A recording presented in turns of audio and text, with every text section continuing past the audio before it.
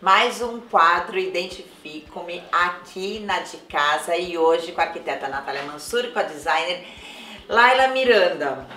E hoje a gente vai. Vocês conseguiram escolher uma peça? Porque nesse quadro é assim: elas escolhem uma peça, o profissional escolhe uma peça que eles se identificam. E sempre a gente se identifica também com as peças dele, é sempre assim aqui na de casa, não tem jeito, é difícil. Sim. Vocês conseguiram? A gente tá num ambiente que elas fizeram aqui na mostra, como eu falo para vocês toda semana, uma mostra de decoração permanente aqui na de casa. São 28 ambientes, mais de 70 profissionais, foram 28 homenageados e a gente tá no espaço que elas homenagearam, a de casa homenageou o Joel J, Joel Moraes. E, e aí vocês criaram aqui um ambiente mais corporativo, mais masculino, né? Mais pensativo também, de estudo, foi isso? É, foi bem pensando né, no, no Joel, no estilo dele, que a gente tinha conversado com ele um pouquinho. Acho que a gente tentou deixar um ambiente um pouco mais masculino, assim, ao mesmo tempo moderno, né? E aconchegante. É, e, e, as peças são fundamentais, né? Algumas peças, num ambiente pequeno, vocês têm que é. investir em peças, né? Isso. Design.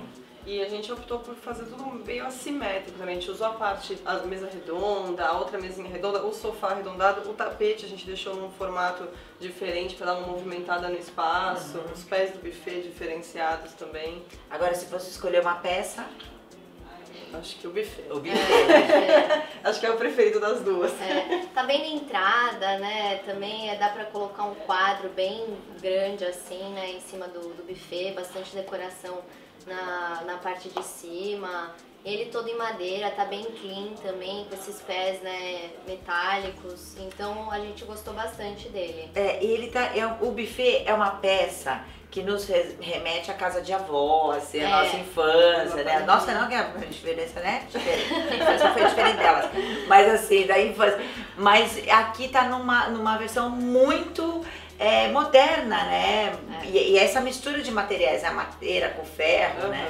A dimensão dele também, né? É bacana que ele tem um espaço muito bom por dentro para poder guardar taças, guardar o que precisar guardar. Que é fundamental Exato. quando você tem um espaço pequeno que você consegue é, otimizar, deixando ele lindo, mas funcional. Né? Exatamente, né? com certeza. A gente sempre tenta pensar né, em tudo isso, né? A gente englobam muitas, muitos pensamentos. Eu acho que o trabalho do arquiteto e do, do designer de interiores. A peça delas, o quadro, é para o profissional escolher a peça que identifica. Agora eu tô nesse sofá aqui desde o começo, antes, de, antes da mostra eu já namorava esse, esse sofá é, de dois lugares, né? Estamos nós três, mas é um, um sofá de dois lugares, de canto, que eu acho incrível também então fica aqui a minha peça que eu identifico no espaço, é o sofá. E eu convido vocês, novamente, venham.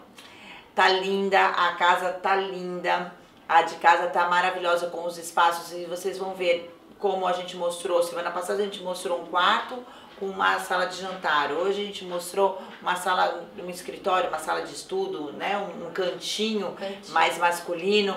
É, aqui do lado tem o meu espaço, que é um lounge, e tem quartos, e tem cozinha, e tem escritórios, e tem homes. Então venham, venham aqui de casa para vocês passarem uma tarde linda. A gente tem aqui o de casa é, café, onde vocês podem se enlouquecer da, com as guloseimas e com as comidinhas. Então vai ser um passeio bem gostoso.